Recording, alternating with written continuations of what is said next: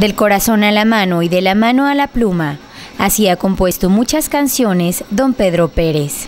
Pues no sé de dónde, de un de repente comencé a, a este, en las madrugadas cuando despertaba, este, comenzaba, así no tenía sueño ya y comenzaba una canción y me tenía que levantar a escribirle un verso de perdida con la tonada, a veces la tonada después se la acomodaba, pero un verso y lo, lo acomodaba y ya me acostaba otra vez en la mañana, porque si no lo hacía así, en la mañana ya no me acordaba de nada, ni qué, ni cómo había comenzado.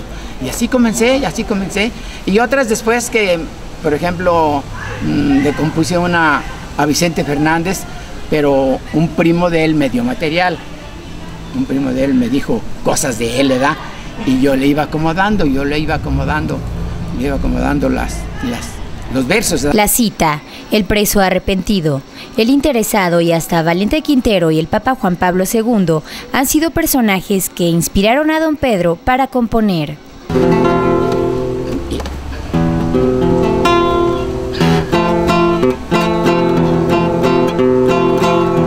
Estoy encerrado en una gran celda, los días se hacen largos y las noches más.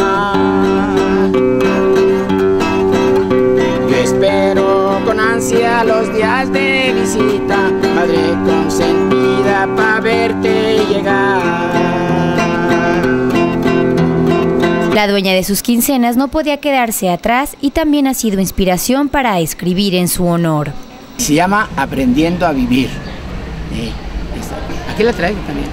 Oiga, don Pedro, em, ¿alguna vez ha vendido alguna canción? ¿Ha vendido? Vendido. No, no, no. No las vende. No, no. No me Pues- las tiene para... Pues nadie me ha dicho que me las compran ni nada, ya nomás las tengo así. Ya he cantado ahí afuera del... eh, Hemos cantado otro señor que se llama Don José. Me ayudó una vez a cantar este precisamente, El Preso. Allá afuera de la, de la, de la Casa de la Cultura, en el entarimado que ponen a veces. Y sí, sí, no, a la gente les gustó porque me aplaudieron bastante. Digo, nos aplaudieron porque éramos dos. Cerca de 30 canciones ha escrito este compositor tepatitlense. Tengo una canción de Mezcala, pero le, ahí nomás le eché ahí a rumbo. eh, ahí nomás le eché a rumbo. ¿O alguien ha cantado alguna de sus canciones, algún mariachi de aquí de Tepa o un grupo de aquí de la región? Mm, canté con un grupo yo, pero yo la canté. Sí, yo la canté con un... Pues era un grupo de esos que, que traían un, un- un guitarrón, una guitarra, un, un acordeón. Para mí todas, todas tienen sentido. Por ejemplo, el preso, el preso, este se, se- se trata de, de que está encerrado, ¿verdad? Y, y se arrepiente. Por eso se llama el preso arrepentido. ¿Desde cuándo escribe? Mm, Pues ya desde, desde hace como unos, ¿qué serán? Unos 20 años yo creo. Entre- Hasta hoy las canciones de don Pedro no han sido interpretadas por otros. Sin embargo, él ha tenido la oportunidad de entonar sus propias letras con grupos norteños. 20 y 25 años que comencé a escribir.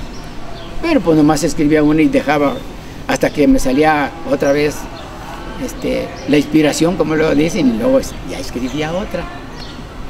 La última letra escrita por don Pedro fue dedicada al Papa Viajero.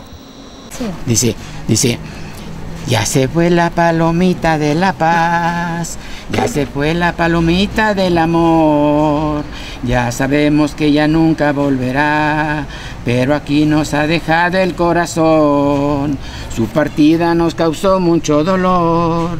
Pero en cambio sus visitas alegría, ya sabemos que ella está junto al Creador, por nosotros le rogaremos que pida al partir el todo México lloró, porque tristes siempre son las despedidas. Bien marcado nos quedó en el corazón ese nombre del papá. Central Noticias, Jade Castellanos.